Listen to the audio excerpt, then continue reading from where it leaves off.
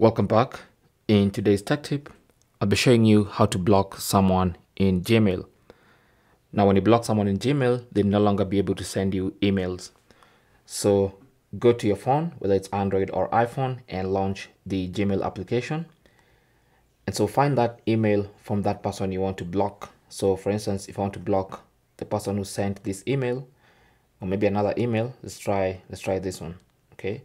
So if I want to block this person, for instance, all I have to do is open probably their most recent email and then tap on the three dots in the top right corner of the email. Okay. So we you'll notice we have three dots here and three dots here. So some people confuse these two buttons. So this is a top this is a menu button inside the email. This is a menu button of the Gmail app.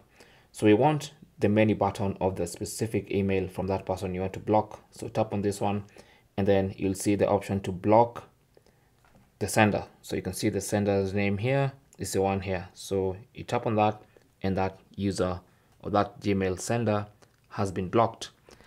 And that's basically how to block someone on Gmail. They'll no longer be able to send you emails in future.